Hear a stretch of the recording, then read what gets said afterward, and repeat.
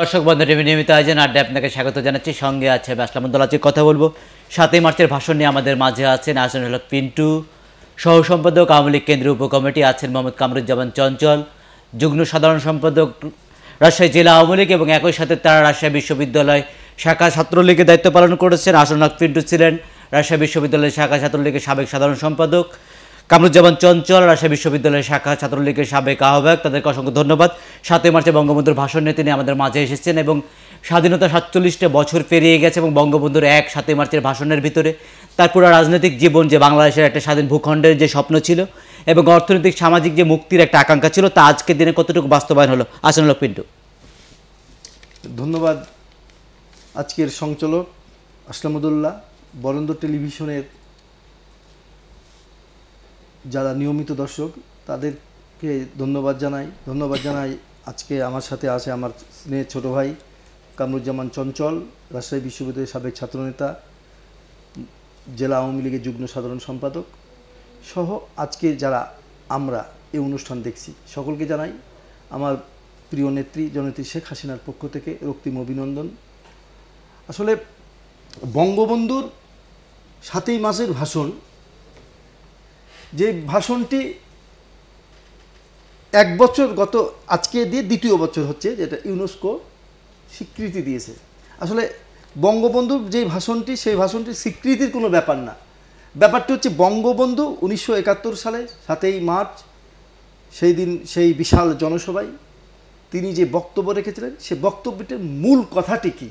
মূল কথাটি হচ্ছে, একটি দেশ তার স্বাধীন হবে, স্বাধীন প্রেক্ষাপট যেমন, স্বাধীন হবার পর দেশটি কী হবে? একটি নির্দিষ্ট ভৌগোলিক সীমারেখা নির্ধারণ হবে। অর্থনৈতিক বিলিবন্টন কীভাবে হবে? এই দেশটি কীভাবে পরিচালিত হবে? এই দেশটি, এই দেশের জনগণ কীভাবে এই দেশটিকে উন্নত থেকে উন্নততর করবে? বিশ্বের সাথে এই দেশটির করেসপন্ডেন্স কেমন হবে? সবগুলি একটি বক্তব্যের মাধ্যমে তিনি উপস্থাপন করেছিলেন। যে উপস্থাপনটি একটি জাতিকে একত্রিত করেছিলেন। আমরা সেই দিন দেখেছিলাম, সাড়ে সাত কোটি বাঙালি সেই মন্ত্রে উজ্জীবিত হয়ে আমরা সকলেই মুক্তি পাগল হয়ে মুক্তিযুদ্ধে অংশগ্রহণ করেছিলাম। মুক্তিযুদ্ধে অংশগ্রহণের মাধ্যমে একটি স্বাধীন সার্বভৌম রাষ্ট্র প্রতিষ্ঠিত করেছিলাম। এই মূল মন্ত্রটাই হচ্ছে সেইটি, যেটা হচ্ছে বঙ্গবন্ধুর সেই সাতই মাসের ভাষণ। তাই আজকে হয়তো আমরা দেখছি জাতিসংঘের একটি পাঠ ইউনেস্কো সে ভাষণটিকে পৃথিবীর অন্যান্য যে আদর্শবাদী লোক যারা বক্তব্যগুলো দিয়েছে তাদের যে স্পিচ ছিল যেমন মহাত্মা গান্ধী একটি শান্তির জন্য ভাষণ দিয়েছেন। আমরা দেখেছি চার্চিল।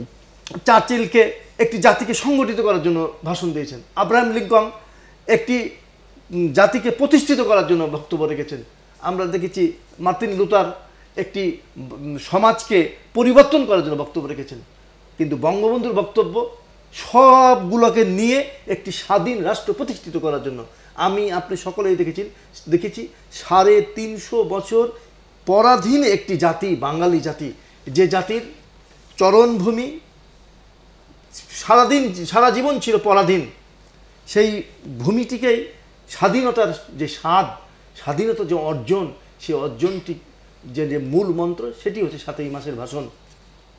তাই আমরা মনে করি আজকে এই বাংলার বাঙালির যে দেশ, যে বাংলাদেশ, লাল সবুজের যে বাংলাদেশ, একটি নির্দিষ্ট সংবিধানের যে বাংলাদেশ, সেই বাংলাদেশটি বঙ্গবন্ধুর যে স্বপ্ন দেখেছিলেন, সেই স্বপ্নটি যেন বাংলার প্রতিটি বাঙালি তার কার্যক্রম দিয়ে বাংলাকে একটি সোনার বাংলা রূপে প্রতিষ্ঠিত করে, সেই প্রতিষ্ঠিতটাই হচ্ছে সাতচল্লিশ বছরের মেসেজ। যে মেসেজটা দেওয়ার জন্য আমরা দেখেছি একটু কামরুজ্জামান চঞ্চলের কাছে যেতে চাবো যে ভাষণ যারা আরও সব বিশ্বখ্যাত নেতা আছেন, উইলিয়াম চার্চিল, লুথার কিং বা আব্রাহাম লিঙ্কন, তাদের বক্তব্য বিশ্ব স্বীকৃত, কিন্তু তাদের বক্তব্য ছিল এবং তাদের দেশের মানুষকে তারা সব সময় তারা সমাদৃত করেছে তাদের সেই নেতা। কিন্তু বঙ্গবন্ধুকে এক ধরনের গ্লানি বা এক ধরনের অপবাদ নিয়ে বিদায় নিতে হয়েছিল, তাকে হত্যা করা হয়েছিল সপরিবারে। তারপর ইউনেস্কো কি খুঁজে পেল যে এই কারণে তাকে বিশ্বের যেটা দলিল হিসাবে স্বীকৃতি দিচ্ছে, যা আগামী দিনের যারা মুক্তিকামী মানুষ আছে, তাদেরকে প্রেরণা যোগাবে। ধন্যবাদ। আসলামুদ্দৌলা আজকে আমাদের এখানে উপস্থিত রয়েছেন আমার রাজশাহী বিশ্ববিদ্যালয়ের সাবেক ছাত্রনেতা, আমার নেতা, রাজশাহী মহানগর আওয়ামী লীগের সম্মানিত সদস্য এবং কেন্দ্র উপকমিটির সম্মানিত সহ সম্পাদক হাসনুল্লাহ পিন্টু এবং বরেন্দ্র অনলাইন টিভি সম্মানিত দর্শকবৃন্দ, সকলকে জানাই আজকের এই স্বাধীনতা দিবসের এবং বঙ্গবন্ধুর কন্যা জননেত্রী শেখ হাসিনার পক্ষ থেকে রক্তিম অভিনন্দন ও শুভেচ্ছা। আসলে একটি মেসেজ যেটি হচ্ছে, ইতিহাস সবসময় সত্যই বলে। যে যেভাবে ইতিহাসকে কাটতে চাক ছিঁড়তে চাক পোড়াতে চাক, অর্থাৎ ধ্বংস করতে চাক, বিকৃত করতে চাক, কিন্তু ইতিহাস সব, সবসময় সত্যই বলে। সেটি আজকে প্রমাণিত হয়েছে ইউনেস্কোর মাধ্যমে। যে জাতির জনক বঙ্গবন্ধু, উনি এই দেশ সাধারণ মানুষের পক্ষে, শোষিতের পক্ষে উনি সবসময় অবস্থান নিয়েছিলেন তার, তাদের ভাগ্যের উন্নয়নের জন্য উনি সবসময় ভেবেছেন। সেই জায়গা থেকেই সাতই মার্চের যেই ভাষণ বঙ্গবন্ধুর সেই ভাষণ যেই আবেগ আপ্লুত করে যে মানুষকে একত্রিত করার যেই ব্যাপারগুলি ছিল, যে একজন মানুষের সেই কণ্ঠে বজ্র কণ্ঠের সেই বক্তব্য শোনার পরে মানুষ যে উদ্বেলিত হয়েছিল আন্দোলনে যে জীবন বাজি রেখে স্বাধীনতা যুদ্ধে অংশগ্রহণ করার জন্য জীবন তুচ্ছ করে তারা বাংলাদেশের স্বাধীনতার জন্য স্বাধীনতা যুদ্ধে যে অংশগ্রহণ করেছিল, সেই যে উজ্জীবিত করা, এটি আমার মনে হয় যে বিশ্বের আমরাও অনেক বড় বড় মনীষী, বড় বড় নেতাদের বক্তব্য আমরা শুনেছি। তো এইভাবে পুরো জাতিকে সংগঠিত করার মতো একটা আমরা আরেকটা বিষয় দৃষ্টিপাত করব যে প্রত্যেক রাজনৈতিক নেতা কিন্তু আগে বলল যে তাদের একটা পার্ট ছিল, কিন্তু বঙ্গবন্ধুর একটা ভাষণের মধ্য দিয়ে তিনি এই আপাদমস্তক যে রাজনীতিটা করে এসেছেন তার পূর্ণ প্রতিফলন কি কারণে ঘটানো সম্ভব হলো। বঙ্গবন্ধু ভাষণের ভিতর তিনি যে রাজনীতিটা করেছেন যার জন্য রাজনীতিটা করছেন সে পুরা সুপ মানে তার লক্ষ্যটা তার স্বপ্নটা সব সাতে মার্চের ভাষণের ভিতর তিনি ঢেলে একটি প্রত্যেকটা পরতে পরতে তিনি তা উপস্থাপন করেছেন। অন্যান্য বক্তার ক্ষেত্রে তার একটা পাঠ থাকে কিন্তু তিনি সার্বিকভাবে সব চিত্রটা তুলে ধরেছেন। এর পেছনে আসলে প্রেরণা কি ছিল? কি ধরনের শক্তি তার ভিতরে কাজ করেছে কি ধরনের একটা এখানে- অন্য মানুষের সাথে বঙ্গবন্ধুর যে পার্থক্য বঙ্গবন্ধুর যে দূরদর্শিতা সেটি ছিল সুদূর প্রসারী অনেক পেছনে দেখার মতো ক্ষমতা বঙ্গবন্ধুর মাঝে ছিল। যেটি অন্য অন্য নেতাদের মধ্যে কিন্তু এটি আমরা দেখতে পাই না। যার কারণে বঙ্গবন্ধু কিন্তু বুঝেছিলেন যে এই স্বাধীনতা আনতে গেলে কি কি হতে পারে পাকিস্তানের যে দোসররা কি করতে পারে পাকিস্তান শাসক গোষ্ঠী কি করতে পারে বা আগাম যে চিন্তাগুলি, সেটি কিন্তু করার ক্ষমতা বঙ্গবন্ধুর মাঝে ছিলেন, ছিল। বিধায়ক বঙ্গবন্ধু সেই সাতই মার্চের ভাষণে যে কথাগুলি বলে গেছেন যে, আমি যদি হুকুম দেবার নাও পারি, যার যা আছে তাই নিয়ে প্রস্তুত থেকো। এই যে বিষয়গুলি আছে, আপনি প্রত্যেকটা শব্দ, প্রত্যেকটা বাক্য যদি আপনি অ্যানালাইসিস করে দেখবেন, এই বক্তব্যের মধ্যে কিন্তু অনেক কিছু আছে, যেটি সাধারণ কোনো নেতার মাঝে থাকার কথাও না বা সাধারণ কোনো মানুষের বোঝার ক্ষমতাও নাই। বঙ্গবন্ধু যে স্বপ্নটা লালিত করে গেছেন এবং যার জন্য তার পুরো রাজনৈতিক জীবনটা তিনি জনগণের সেবায় উৎসর্গ করেছিলেন মাটি এবং মানুষ। বাংলাদেশের মাটি ও মানুষ কেমন আছে আজকের দিনে? বঙ্গবন্ধুর এই বাংলা মাটি আর মানুষের জন্যই তিনি আন্দোলন করেছেন। আমরা যখন দেখলাম উনিশশো সাতচল্লিশ সালে দেশ ভাগ হয়ে গেল, বঙ্গবন্ধুরা কলকাতা থেকে বাংলাদেশে চলে আসলেন। বঙ্গবন্ধু কলকাতা থেকেই তখন কিন্তু চিন্তা ভাবনা করেছে যে আমরা আবার একটি স্বাধীনতা অর্জন করব। আমরা আবার একটি ভাগে বিভক্ত হব। কারণ আমরা যে সংস্কৃতিতে বিশ্বাসী, আমি যে গানে বিশ্বাসী, আমি যে ছন্দে বিশ্বাসী, আমাদের যে বিশ্বাস, আমাদের যে সংস্কৃতি, তার সঙ্গে পাকিস্তানের সংস্কৃতির কোনো মিল ছিল না। আমরা যে ভাষায় কথা বলি, আমাদের ভাষাটি তাদের ভাষার মধ্যে কোনো মিল ছিল না। এই কারণেই বঙ্গবন্ধু আমরা যে দ্বিজা- দ্বিজাতি তত্ত্বের ভিত্তিতে আমরা ভাগ হয়েছি ঠিকই কিন্তু বঙ্গবন্ধু এই দেশকে স্বাধীন করবার একটি চিন্তা চেতনা লালিত পালিত করে বাংলাদেশে এসেছে। আপনি যে কথাটি বলেছেন সেই কথাটি হচ্ছে এরকম দেখেন উনিশশো সাতচল্লিশ সালের পর উনিশশো আটচল্লিশ সালে প্রথম আমরা ধাক্কা খেলাম ভাষা নিয়ে। আটচল্লিশের পর বাহান্ন বাহান্নর পর ছিষট্টি ছিষট্টির পর চুয়ান্ন চুয়ান্ন নির্বাচন চুয়ান্ন চুয়ান্ন নির্বাচন। নির্বাচনের আর আট- আটান্নর হচ্ছে সামরিক শাসন, এরপরে ছিষট্টি, আমরা উনসত্তর সত্তরের নির্বাচন। এই যে প্রেক্ষাপটগুলো, এই প্রেক্ষাপটগুলো কিন্তু তৈরি করা হয়েছে একটি সুদূর প্রসারী চিন্তাভাবনার জায়গা থেকে। আর সেই জায়গা থেকে বাংলার বাঙালি নিয়ে উনি অনেক স্বপ্ন দেখেছে স্বপ্নের জায়গা থেকেই তিনি উনিশশো একাত্তর সালে মহান মুক্তিযুদ্ধের ডাক দিয়েছেন। বাংলাদেশ স্বাধীন হয়েছে। স্বাধীন হয়ে আমরা চেয়েছিলাম, বঙ্গবন্ধু চেয়েছিল যে আমার বাংলা, বাংলার মানুষ যেন থাকে দুধে ভাতে। সেই স্বপ্ন নিয়েই তিনি বাঙাল আর বাঙালি, বাঙালির জন্য যুদ্ধ করে একটি দেশকে স্বাধীন করে একটি সার্বভৌম রাষ্ট্র প্রতিষ্ঠিত করেছিলেন। এই জায়গায় উনিশশো সালের পট পরিবর্তনে বঙ্গবন্ধুকে হত্যা করা হয়েছিল একটি কারণেই। বঙ্গবন্ধু হচ্ছে একটি ইন্ডিপেন্ডেন্ট মানুষ। বঙ্গবন্ধুকে হত্যা করা হয়েছে উদ্দেশ্য একটি, যে বঙ্গবন্ধুকে যদি হত্যা করা না যায়, তাহলে এই দেশের গতি এবং এই দেশের উন্নয়নের ধারাকে রক্ষা করা সম্ভব নয়। তাই বঙ্গবন্ধুকে হত্যা করা হয়েছে। বঙ্গবন্ধু হত্যা করার পর বঙ্গবন্ধুর স্বপ্নকে দলিত, মথিত করেছেন সামরিক শাসনরা, শাসকরা। সেই সামরিক শাসনদেরকে যেই প্রেক্ষাপট, সেই প্রেক্ষাপটে যদি একটু ব্যাখ্যা করি, তাহলে আমরা দেখব প্রথমে জিয়াউর রহমান। জিয়াউর রহমান উনিশশো উনসত্তর সালে পাকিস্তানের একটি বিখ্যাত সামরিক প্রশিক্ষণ ঘাট থেকে তিনি সামরিক প্রশিক্ষণ নিয়ে বাংলাদেশে এসেছিলেন এবং সেই সময় থেকেই সেই পাকিস্তানের যে কথাটা বললেন তার আগে একটু যাব যে বিষয়টা যে বঙ্গবন্ধুর ক্ষেত্রে যে পাঁচ মানে তার পঁচাত্তর সালে তাকে সপরিবার হত্যাকাণ্ডের পর একটা জিনিস বলা হচ্ছে যে বঙ্গবন্ধু নেতা হিসাবে সফল কিন্তু শাসক হিসাবে তার কোনো সফলতা নাই। কামরুজ্জামান চঞ্চল এই বিষয়ে আপনার মানে মন্তব্যটা কি বা আপনার যখন জানাতেন। কোনো জনপ্রিয় মানুষকে যোগ্য মানুষকে যখন আমরা আহ, তার বিরুদ্ধে বলার চেষ্টা করি একটু অন্যভাবে উদাহরণ দিতে চাই। ধরেন আপনি একটা বাড়ির মালিক, আপনাকে আমি খারাপ বলতে চাই, কিন্তু আপনি সেই পাড়া মহল্লে আপনি খুব জনপ্রিয় একটি ব্যক্তি, মানুষের সেবায় সবসময় নিজেকে নিয়োজিত রাখেন। তাই আপনাকে যদি আমি ডাইরেক্ট বলে, আসলাম খারাপ এটা মানুষ নিবে না, মানুষ আমাকে খারাপ বলবে। তা আমরা কি করে থাকি? তখন আমরা বলি যে, আসলাম ভালো, কিন্তু আসলামের বাসায় যে কুত্তাটা থাকে, সেই কুকুরটা ভালো না, গেলেই ঘেউ ঘেউ করে। এটা যখন প্রতিষ্ঠিত হয়ে যায়, তারপরে আসি বাড়ির পরিবারের সদস্যের জায়গা থেকে। আসলাম ভালো। আসলামের কুকুরটা খারাপ কিন্তু আসলামের পরিবারের যে ওই কাজের মেয়েটা আছে ওই কাজের মেয়েটা খুব ঝগড়াটে এরপরে যখন সেটিও প্রতিষ্ঠিত হয়ে যায় তখন আমরা বলার চেষ্টা করি আসলাম ঠিক আছে ভালো কিন্তু ওর ছেলেটা খারাপ। এটাও যখন প্রতিষ্ঠিত হয়ে যায় তারপরে আমরা আসি এইভাবে ধাপে ধাপে তার মেয়ে তার স্ত্রী তারপরে আমরা আসি আলটিমেট যেহেতু আজকে দিনে বঙ্গবন্ধু যে কর্মসূচিগুলো নিয়েছিল মানে আমাদের স্বাধীন ভূখণ্ডের প্রথম প্রধানমন্ত্রী হিসাবে প্রথম রাষ্ট্রপতি হিসেবে যে দায়িত্বগুলো বা যে ধরনের পরিকল্পনাগুলো দিয়েছিল তা আজকে আমাদের বাংলাদেশে কতটুকু সমৃদ্ধ করল বা আজও সেই কাজগুলো আমাদেরকে আরও সামনের দিকে এগিয়ে নেওয়ার কোনো শক্তি যোগায় কিনা? অবশ্যই যোগায়। সেই জায়গা থেকে আপনি দেখেন যে আমাদের দেশ যে এগিয়ে চলেছে, তার বাস্তব অনেকগুলি উদাহরণ আছে। একে এইটুকু সময়ের মধ্যে আসলে বলে শেষ করা যাবে না। জননেত্রী শেখ হাসিনার নেতৃত্বে যে ইতিমধ্যেই যেই যমুনা পদ্মা সেতু নিয়ে আপনার বিরোধী দল বারংবার যে কথাগুলি বলতে চেয়েছিল, ষড়যন্ত্র করেছিল, সেই পদ্মা সেতু যাতে না হয়, সেজন্য তারা বহু রকমের আন্তর্জাতিক ষড়যন্ত্রেও তারা লিপ্ত হয়েছিল। তারপরেও কিন্তু জননেত্রী শেখ হাসিনা দৃঢ়ভাবে সেটিকে মোকাবেলা করেছে এবং নিজস্ব অর্থায়নে আজকে পদ্মা সেতু নির্মাণ হতে চলেছে। আপনি মেট্রো রেল দেখেন অলরেডি সেই পাইলিংগুলো শুরু হয়ে গিয়েছে। এই রকমের দৃশ্যমান শুধু মানে রাজধানীতে না সারা বাংলাদেশের একদম গ্রামে গঞ্জে পর্যন্ত যে কথাটা বললেন যে আসলে আপামর মানুষের যেখানে সুবিধা আছে যেখানে সুযোগ আছে সেই জায়গায় বর্তমান সরকারও কাজ করছে যেটা বঙ্গবন্ধু দেখানো পথ এবং পররাষ্ট্র নীতির ক্ষেত্রে যে কারও কাছে মাথা নত না করে এবং কারোর সাথে বৈরিতা না রেখে যে ধরনের সম্পর্ক রাখা দরকার তার মধ্য দিয়ে বাংলাদেশ এগিয়ে যাচ্ছে।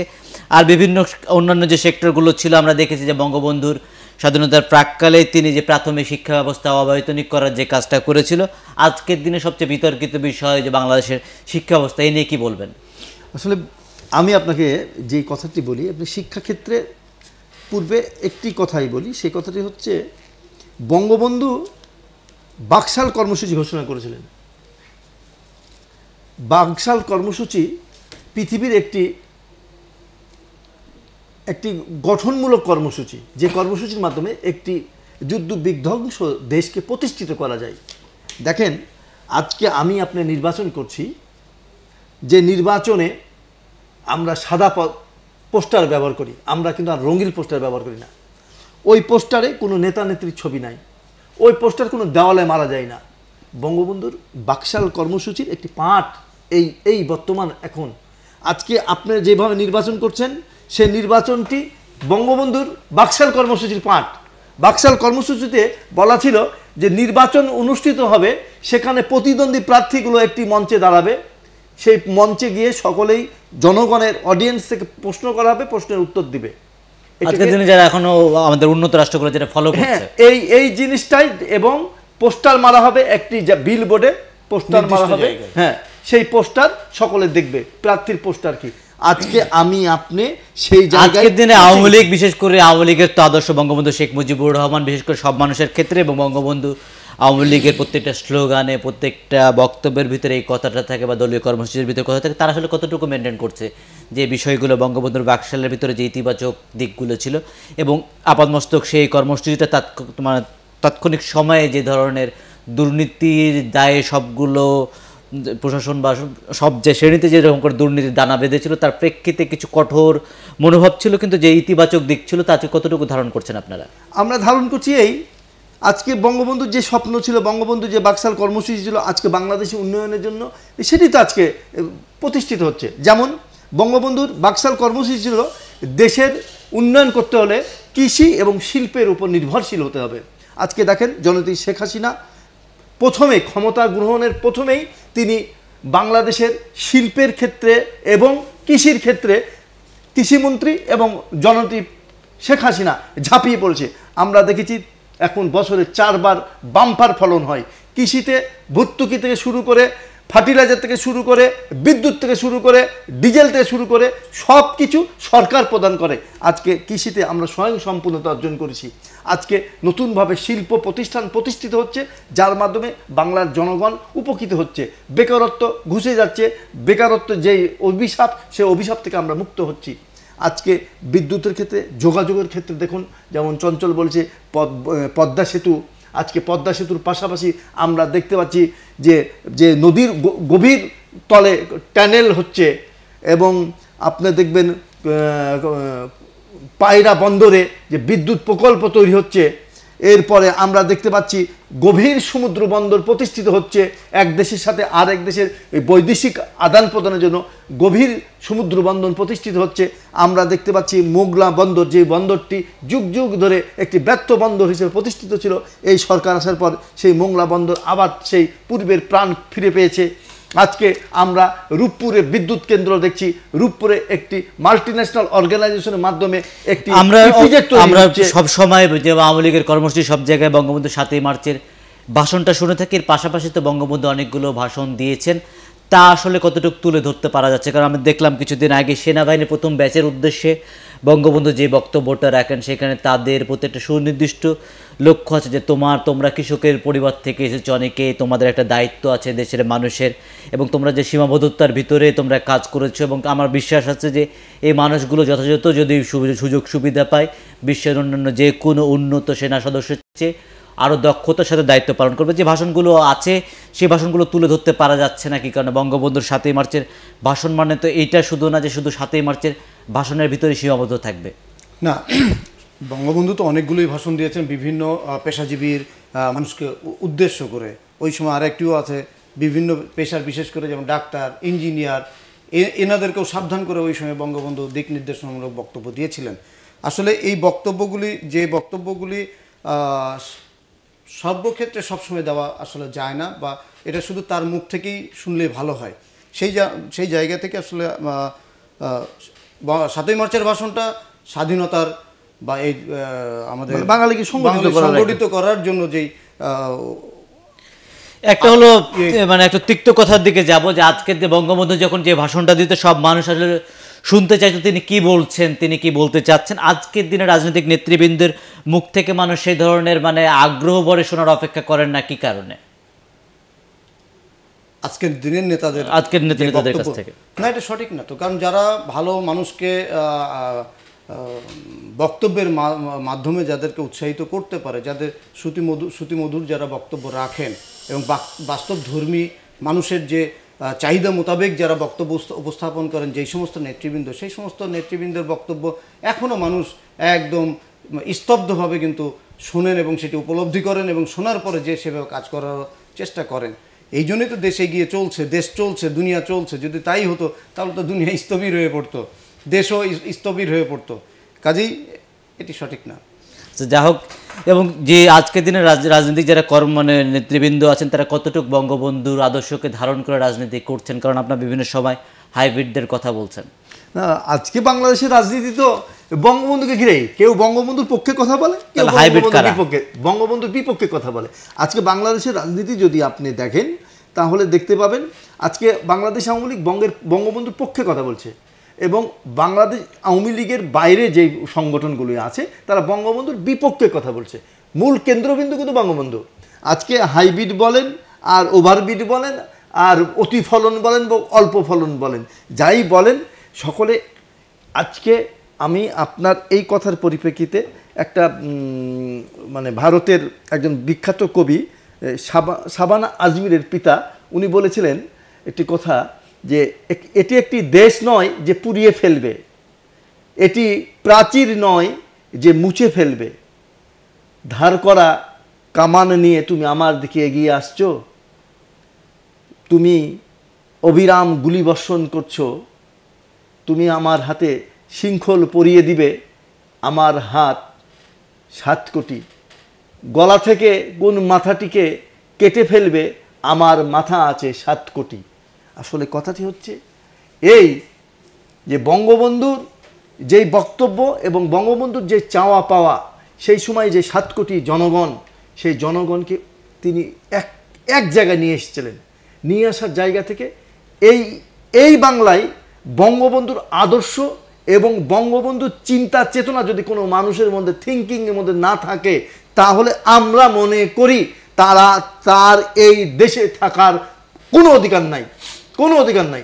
এই কারণেই আজকে বিপদগামী মানুষ দীর্ঘ একুশটি বছর আমরা দেখেছি বঙ্গবন্ধুর সহ বঙ্গবন্ধুর পরিবার নিয়ে যে অপরাজনীতি হয়েছে, সেই রাজনীতি থেকে মানুষ ফিরে এসে বুঝতে শিখেছে, বলতে শিখেছে এবং কিছু জিনিস যা ভিজুয়ালি দেখছে তারা, দেখে আজকে দলে আওয়ামী লীগের পক্ষে এসেছে, আওয়ামী লীগের পতাকা তলে এসেছে বঙ্গবন্ধুর কথা শোনার জন্য।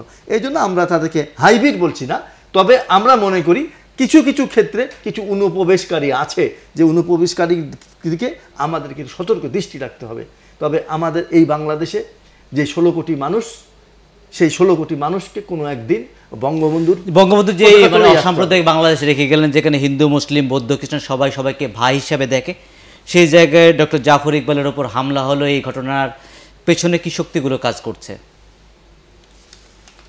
ডক্টর জাফর ইকবালের উপরে যে হামলা হয়েছে পেছনে যে কাজগুলি থাকে। বারংবারই আমরা কিন্তু বলি শুধু না, আমরা উপলব্ধি করি, স্বাধীনতা বহুভাবে বিপক্ষে যারা অবস্থান করেছিল, বহুভাবে চেষ্টা করেছিল যাতে বাংলাদেশ স্বাধীন না হয়। সেই সময় থেকে বহু মিথ্যাচার, প্রচার, প্রপাকাণ্ডা, ইসলামের দোহাই দেওয়া থেকে শুরু করে অনেক কিছুই তারা চেষ্টা করেছিল। তারপরেও এই বাংলাদেশের মানুষ স্বাধীনতা নিয়ে এসেছিল, পাকিস্তানের বিপক্ষে, সেই সশস্ত্র বাহিনীর বিপক্ষে দাঁড়িয়ে। তাদের সাথে যুদ্ধ করার মাধ্যমে। স্বাধীন যখন তারা স্বাধীনতা যখন ঠেকাতেই পারেনি, তখনও কিন্তু স্বাধীনতার পরেও তারা বিভিন্নভাবে সেই প্রপার প্রচার প্রপাকাণ্ডাগুলো চালিয়েছিল। ওই স্বাধীনতার যারা বিপক্ষে যখন অবস্থান নিয়েছিল, তারাই কিন্তু ব্যাংক ডাকাতি করেছে, জয় বাংলা স্লোগান দিয়ে চলে গিয়েছে। তারাই মানুষকে হত্যা করে কম্বল পেটের মধ্যে ঢুকিয়ে দিয়ে জয় বাংলা স্লোগান দিয়ে চলে গিয়েছে। সেই ধারাবাহিকতায় কিন্তু তারা পঁচাত্তর সংগঠিত করেছিল। মানুষকে বিভ্রান্ত করার মাধ্যমে সেই মিথ্যাচার করায় তারা পঁচাত্তর সংগঠিত করে প্রমাণ করতে চেয়েছিল যে আমরা বঙ্গবন্ধুকে এই কারণে হত্যা করেছি কারণ আমরা তখনও তো তারা ব্যর্থ হলো। পঁচাত্তর পরে যখন আওয়ামী লীগ আবারও আসলো তারা ব্যর্থ হলো।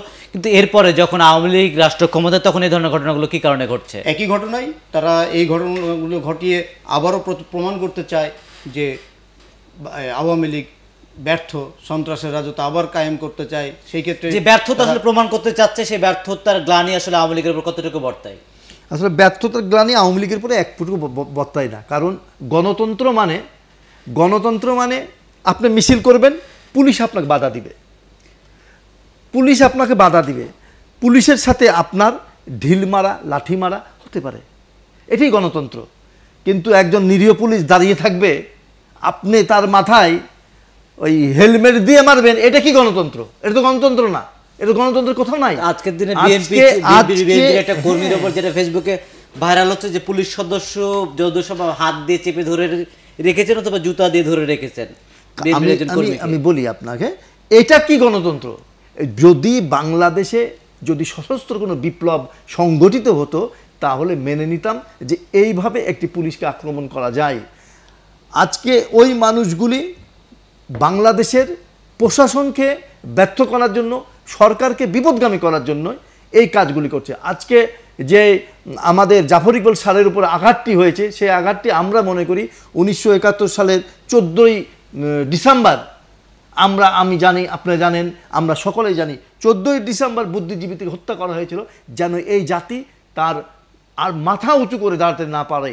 এরই এরই ধারাবাহিকতায় এই জঙ্গিবাদগুলোকে পেট্রোনাইজ করে ইংল্যান্ডে বসে কোনো মানুষ তার কার্য পরিচালনার মাধ্যমেই এই দেশকে অশান্তির একটি রাষ্ট্রে পরিণত করার জন্য ব্যর্থ রাষ্ট্র পরিচালনা পরিণত করার জন্য এই কাজগুলি করছেন। এটি একটি বিচ্ছিন্নতাবাদী আন্দোলন বা বিচ্ছিন্নবাদী অবস্থান।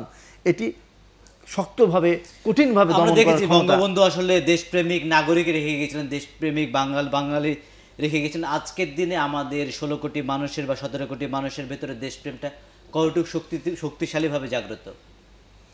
এখন সতেরো কোটি মানুষের মধ্যে অনেকটাই সচেতন বাংলাদেশের মানুষ স্বাধীনতা নিয়ে। যার কারণেই দেখেন যে জঙ্গিবাদ এখানে প্রতিষ্ঠিত হতে পারছে না। পাড়া মহল্লায় এখন জঙ্গিবাদ থাকলে বা জঙ্গিবাদের মানুষগুলি থাকলে মানুষ কিন্তু এখন প্রতিহত তারা নিজেরাই করছে। এটিও কিন্তু বাংলাদেশের এই পক্ষে অবস্থান নেওয়ার যে সচেতনতার জায়গা থেকেই কিন্তু এগুলি সৃষ্টি হয়েছে। এখন সেই মিথ্যাচার কিন্তু আর বাংলাদেশের মানুষরা গ্রহণ করে না। বিধায় আজকে ওই সমস্ত যে ধর্মের নাম দিয়ে যারা একসময় নিজেদের অবস্থান দৃঢ় করার চেষ্টা করেছিল, সেই সমস্ত মানুষগুলো কিন্তু আজকে সন্ত্রাসের রাজত্ব কায়েম করে ভয়ভীতি সৃষ্টির মাধ্যমে বাংলাদেশকে ভিন্ন খাতে প্রবাহিত করার জন্য আবার নতুনভাবে সচেষ্ট হয়েছে।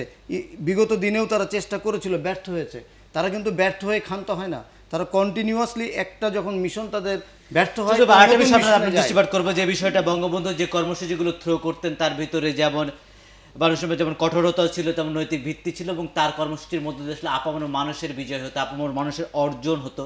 কিন্তু আজকের দিনে যে ধরনের রাজনৈতিক কর্মসূচির কথা বললেন যেমন আর গ্রুপের ওপর থেকে পুলিশ সদস্যকে হত্যা করা হচ্ছে হেলমেট দিয়ে পিটানো হচ্ছে আবার পুলিশ সদস্য কর্তৃক অপর দলের নেতাকর্মীর ওপর জুতা দিয়ে গলা চাপা বা হাত দিয়ে গলা চাপার ঘটনাগুলো দেখছি। এই জায়গায় আসলে রাজনৈতিক সেই ধরনের পরিমণ্ডল যা আসলে যাদের কর্মসূচির মধ্যে দিয়ে জনগণের আসলে মানে আকাঙ্ক্ষা বাস্তবায়ন হবে, সেই ধারার ভিতরে ফিরে আনতে বঙ্গবন্ধুর সেই আদর্শ বা সাতই মার্চের ভাষণটা চর্চার কি ধরনের ক্ষেত্র বা কীভাবে চর্চা করা দরকার? এটি ছোট ছোট পরিসরেও, স্কুল বলেন, কলেজে বলেন, এই বঙ্গবন্ধুর ভাষণ বাজানোর মাধ্যমে বা সাধারণ শিক্ষার্থীদের মাঝে তুলে ধরার মাধ্যমে এটার বিশ্লেষণধর্মী প্রোগ্রামগুলি করা উচিত যে এই বঙ্গবন্ধুর ভাষণগুলি প্রত্যেকটা শব্দ, প্রত্যেকটা বাক্যগুলি অ্যানালাইসিস করার মাধ্যমে যে কেন বলেছিলেন। এখানেও তো আপনার বিরোধী দল বা স্বাধীনতার বিপক্ষের যারা আছেন, তারা বিভিন্নভাবে কিন্তু এটারও অপব্যাখ্যা দিয়ে থাকে। সেই অপব্যাখ্যাগুলি ছোট শিশু কিশোরদের মাঝেও তারা বিভিন্নভাবে প্রচার প্রচারণা চালানোরও চেষ্টা করে। আমার মনে হয় যে এটি সেই শিশুদের মাঝে এই ধরনের বঙ্গবন্ধুর সেই সাতই মার্চের ভাষণ বাজিয়ে শুনিয়ে এবং সেগুলোর সুস্পষ্ট সুনির্দিষ্ট সেই ব্যাক- সঠিক ব্যাখ্যাগুলি আমার মনে হয় তুলে ধরা উচিত। বঙ্গবন্ধুকে সার্বজনীন করার জন্য আর কি ধরনের উদ্যোগ নেওয়া সম্ভব? বঙ্গবন্ধুকে সার্বজনীন করার জন্য আর কি ধরনের উদ্যোগ নেওয়া সম্ভব? আরে বঙ্গবন্ধু সার্বজনীন তো। বঙ্গবন্ধু স্বীকার করছেন না। বঙ্গবন্ধু সার্বজনীন বঙ্গবন্ধুকে স্বীকার বলছেন যারা আসলে একটা দীর্ঘ সময় বঙ্গবন্ধুকে যারা স্বীকার- স্বীকার করে না না। যারা স্বীকার করে না তারা তো কখনোই করে না এবং ভবিষ্যতে কোনো করবে না। না বঙ্গবন্ধুকে স্বীকার যারা করেনি বলেই তো এই দেশের রাজাকার আলবদর হয়েছিল উনিশশো একাত্তর সালে। এবং মন্ত্রিত্ব পেয়েছে বাংলাদেশের মন্ত্রী হয়েছে হ্যাঁ। বাংলাদেশের ফ্ল্যাগ যে দেশের রাজনৈতিক নেতার ভিতরে এত শক্তিশালী পাঠাদন আছে এত বড় অর্জন আছে এতগুলো সফলতা আছে সেই দেশে সম্ভব হলো না আমাদের পার্শ্ববর্তী ভারতের কথা যদি চিন্তা করি সেখানে মহাত্মা গান্ধীকে আলাদা মাত্রায় দেখা হয় সেখানে বিজেপির মতো একটা সাম্প্রদায়িক দল আছে সেখানে সফল হওয়া যাচ্ছে কিন্তু বাংলাদেশের ক্ষেত্রে এখন সফল হতে পারছে না একই কারণে কারণ বঙ্গবন্ধু গড়া সংগঠন আওয়ামী লীগ তো আজকে বাংলাদেশের মাটিতে আছে এবং বাংলাদেশের রাষ্ট্র ক্ষমতায়। হ্যাঁ, আপনি আপনাকে একটি কথা মনে করতে হবে যে বঙ্গবন্ধু উনিশশো পঁচাত্তর সালের পরবর্তী যখন যে একুশটি বছর সে একুশটি বছর একটি রাজনৈতিক দল তার কার্যক্রম পরিচালিত করেছে পাকিস্তানি কায়দায়। যারা উনিশশো একাত্তর সালে আমরা দেখেছি চীনের সঙ্গে ভারতের যুদ্ধ পাকিস্তানের এজেন্ডা বাস্তবায়ন হ্যাঁ এজেন্ডা বাস্তবায়ন বাস্তবায়ন করার জন্যই করেছে। সেই সময় আমরা দেখেছি আমেরিকার সাথে চীনের একটি সম্পর্ক ভালো রাশিয়ার সাথে চীনের একটি বৈরী ভাব।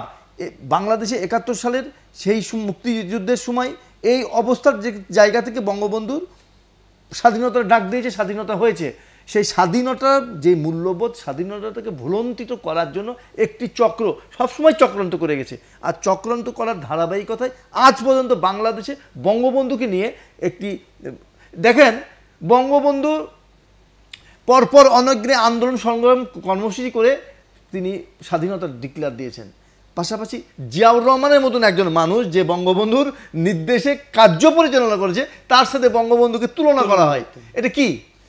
চঞ্চল ভাই, একটা জিনিস আমরা দেখি যে আমাদের দেশের মানুষ রাজনীতিবিদ যারা ছিলেন, তারা বাংলাদেশের মাটি মানুষের প্রতি শ্রদ্ধা পোষণ করতেন এবং সব জায়গায় আগে আমাদের বাংলাদেশে বাংলাদেশের মানুষ মাটি। এবং এখনকার দিনে রাজনৈতিক নেতার বক্তব্যের ভিতরে বিভিন্ন দলের ভিতরে যে দেখা যাচ্ছে কোনো পাকিস্তান প্রীতি না না হলে পার্শ্ববর্তী কোনো রাষ্ট্রপ্রীতির, এই ধরনের ঘটনা কি কারণে ঘটছে? না এটি সঠিক না। এখন ওটা তো ব্যক্তিভেদে বিশেষে পার্থক্য থাকতে পারে সেটি ভিন্ন বিষয়। কিন্তু তখন কেউ এই ধরনের বাংলাদেশে বাংলাদেশের বাইরে চিন্তা করতে পারতো না। বাংলাদেশের- তারা বাংলাদেশের যে তারা বলছে মাঝে মাঝে যে আমাদের কিছু কিছু ভুল ছিল একাত্তর সালে সেটা বলার চেষ্টা করছে। সেই মানুষগুলি পাকিস্তানি পন্থী। বিধায় তারা এটি বলার চেষ্টা করে যে ডাইরেক্ট ওই যে বললাম আপনার কথাগুলোতে শেষ করতে দিলেন না। নামে নামে অভিযোগ আছে যে আপনারা একটু পার্শ্ববর্তী রাষ্ট্রপতি আছে বক্তব্য নেতাদের বক্তব্যের ভিতরে। বন্ধু সুলভ রাষ্ট্র, বন্ধু যারা শুভাকাঙ্ক্ষী, তাদের কাছ- তো একটু ভালোবাসা থাকতেই পারে, সেটা ভিন্ন বিষয়। কিন্তু রাষ্ট্রের বেলায় যদি আসে, রাষ্ট্র স্বার্থ সংরক্ষণের যদি বিষয় আসে, আপনি দেখেন শেখ হাসিনা, জননেত্রী শেখ হাসিনা, অর্থাৎ আওয়ামী লীগ সরকারকে, আওয়ামী লীগ দলকে পাকিস্তানের যেই যারা এজেন্ডা বাস্তবায়ন করার জন্য যে দীর্ঘদিন ষড়যন্ত্র করেছিল, যদিও ব্যর্থ হয়েছে, তারা কিন্তু বলার চেষ্টা করেছে যে পার্শ্ববর্তী দেশ ভারতের পক্ষে আওয়ামী লীগ সব- সবসময় কথা বলে। কিন্তু জননেত্রী শেখ হাসিনার রাষ্ট্র ক্ষমতায় থাকা অবস্থাতেই কিন্তু বিএসএফকে প্রায় ষোলো কি সতেরো জনকে বিএসএফকে বিডিআররা গুলি করে হত্যা করেছে বাংলাদেশে। গঙ্গার পানি নিয়ে এসছে। এবং পার্শ্ববর্তী দেশ সেই ভারতের স্বার্থ সংশ্লিষ্ট বিষয় যখন হয় তখন কিন্তু শেখ হাসিনা বিন্দু মাত্র ছাড় দিয়ে কথা বলেন না। উনি দেশে এসে বলেন না হে আমি তো ভুলে গিয়েছিলাম এই কথাটি বলার জন্য। এটি জননেত্রী শেখ হাসিনা বঙ্গবন্ধুর কন্যা। ওই ম্যাডাম খালেদা জিয়ার মতো না। যে আনন্দ উল্লাস করে আসার পরে দেশে আসার পরে যখন সাংবাদিকরা প্রশ্ন করেছিলেন বঙ্গবন্ধু পররাষ্ট্রনীতির ক্ষেত্রে শতভাগ সফল বলা বলা যায়। সেই জায়গায় আজকের দিনে আওয়ামী লীগ পররাষ্ট্রনীতিগুলো কেমন দেখছেন আওয়ামী লীগের পররাষ্ট্রনীতি? আওয়ামী লীগের পররাষ্ট্রনীতি ভালো বলেই আজকে দেখেন যে সমস্ত দেশ বাংলাদেশের বিপক্ষে একসঙ্গে অবস্থান নিয়েছে তারা প্রত্যেকেই রোহিঙ্গা ইস্যু থেকে শুরু করে আন্তর্জাতিক পর্যায়ের বিভিন্ন ইস্যুতে সমুদ্র সীমা থেকে শুরু করে সমস্ত ন্যায্য অধিকারের জায়গাতে দেখেন বাংলাদেশকে কিন্তু তারা এখন সমর্থন করছে। ধন্যবাদ আমাদের সম্মানিত অতিথি পিন্টু সহ সম্পাদক আওয়ামী লীগ কেন্দ্রীয় কমিটির কথা বলছিলেন কামরুজ্জামান চঞ্চল যুগ্ম সাধারণ সম্পাদক রাজশাহী জেলা আওয়ামী লীগ তাদেরকে অসংখ্য ধন্যবাদ। বঙ্গবন্ধু সাতই মার্চের ভাষণ নিয়ে কথা বলেন। বঙ্গবন্ধু পুরো রাজনৈতিক জীবনে যে অর্জনগুলো ছিল আজও আমাদের বাংলাদেশের প্রতিটি সংগ্রাম প্রতিটি লড়াইয়ের ভিতরে এবং সবকিছু অর্জনের ভিতরে তার এক ধরনের প্রতিফলন প্রতিধ্বনিত হয় তার সেই ধরনের কর্মসূচিগুলো এবং আগামী দিনে যে বাংলাদেশের যে এগিয়ে যাওয়ার আর যে ধরনের রাজনৈতিক যে অস্থিরতার কথা বলা হচ্ছে, যে রাজনৈতিক শিষ্টাচারের অভাবের কথা বলা হচ্ছে, দেশের মাটি মানুষের বাইরে চিন্তা করার বা বিভিন্ন মানুষকে খুশি করার যে প্রবণতা দেখা যাচ্ছে, তার বাইরে এসে আমরা সবাই মিলে বাংলাদেশের কথা চিন্তা করব, বাংলাদেশের মানুষের কথা চিন্তা করব। সব ভালো থাকবেন, শুভরাত্রি।